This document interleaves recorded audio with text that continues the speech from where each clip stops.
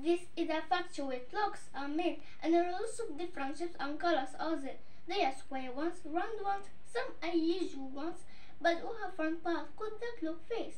And most have three hands to show the time. But do you know what each hand is for? This short hand here points the hours, called the hour hand. And this long hand here points minutes, it's the minute hand. And then this long thin hand counts the seconds, it's called the seconds hand. And as the clock ticks, the seconds hand moves. One, two, three, four, can you read the key? As time passes, move around the clock face, pointing the numbers.